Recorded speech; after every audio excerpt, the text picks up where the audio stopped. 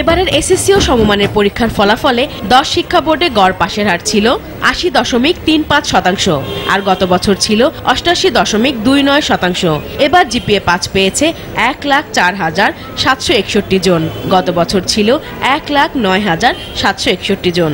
সবচেয়ে কম পাশের হার কুমিল্লা বোর্ডে উনষাট দশমিক শূন্য তিন শতাংশ।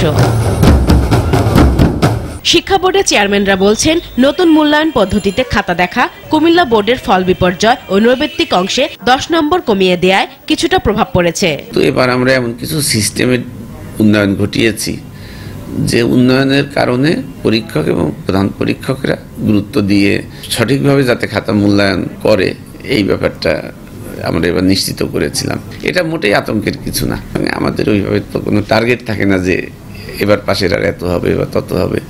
যা ঘটে তাই হয়। শিক্ষাবিদরা বলছেন পাশের হার কমায় উদ্বেগের কিছু নেই। খাতা দেখার নতুন পদ্ধতিও ইতিবাচক। বরং আগের বছরগুলোতে অতিরিক্ত পাশের হারই ছিল অস্বাভাবিক। তিনটা লেভেলের মূল উত্তরপত্র রয়েছে ভালো মানের মধ্যম মানের এবং দুর্বল মানের। সুতরাং ওগুলো দেখে এখন তার মূল্যায়ন করা সহজ হবে। এবং নিশ্চিত আমার মনে হয় এবার মূল্যায়নে একটা সমতা এসেছে। এবার পাশের হার আশি শতাংশ। আমার মনে হয় বেশ ভালো। পাশের হার কম হলেই আমাদের শিক্ষার মান নেমে গেল, এমনটা ভাবা ঠিক নয়। আমি যখন ছাত্র ছিলাম, তখন সত্তর শতাংশ ছাত্র ফেল করতো। আমাদের ছেলেমেয়েরা যদি প্রতিটি বিষয়ে দক্ষতা অর্জন করতে পারে, তারা নিজেদেরকে যদি চিনতে পারে, তারা যদি প্রকৃত মানুষ হতে পারে, তাহলেই শিক্ষা জীবন সার্থক। মানুষ হিসেবে যদি ব্যর্থ হয়ে যায় তাহলে সে এ প্লাস পাক আর কথিত গোল্ডেন এ প্লাস পাক তাতে কোনো লাভ নেই। তাদের মতে পরীক্ষার খাতা দেখায় আগের অঘোষিত উদারনীতি শিক্ষার্থীদের অনেক ক্ষতি করেছে। পঁচানব্বই শতাংশ ছাত্র যখন পাশ করে তখন তো ওই প্রশ্নটা আর আসে না। একজন ছাত্র মনে করতেই পারে আমি এমনিতেই পাশ করব। আমার মনে হয় যে এবার যে ফলাফল হয়েছে সেটা যথেষ্ট ভালো হয়েছে। যে মানসিকতা তৈরি হয়েছে এই মানসিকতার কারণেই মানুষ শুধু নম্বরের পেছনে ছুটছে।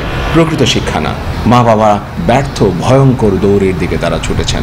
এইটি আমাদের শিক্ষা ব্যবস্থার জন্যে অত্যন্ত ক্ষতিকর। পরামর্শও দিলেন কেবল পাশের হার বাড়ানোর পেছনে না ছুটে শিক্ষার মানের ওপর নজরদারি বাড়ানোর। আমাদের ছেলে মেয়েরা নয় শুধু তাদের অভিভাবকেরাও এই নম্বরের পিছনে কিংবা জিপিএর পেছনে দৌড়াচ্ছে। কিন্তু আমরা জানি যে প্রায় লক্ষ ছাত্র জিপিএ পাস পায়, কিন্তু আমাদের যে বিশ্ববিদ্যালয়গুলো আছে পাবলিক মেডিকেল কলেজ সমূহ এখানে কিন্তু সবাই ভর্তি হতে পারবে না। ওই গ্রেডে কিন্তু তার কাজ দেবে না, তাই না? তাকে প্রকৃতপক্ষেই ওই বিষয়গুলোতে দক্ষ হতে হবে। এজন্য শিক্ষা প্রতিষ্ঠানে মানসম্মত ও যুগোপযোগী পাঠদানের প্রতি নজর দেওয়ার পরামর্শ দিলেন এই শিক্ষাবিদ।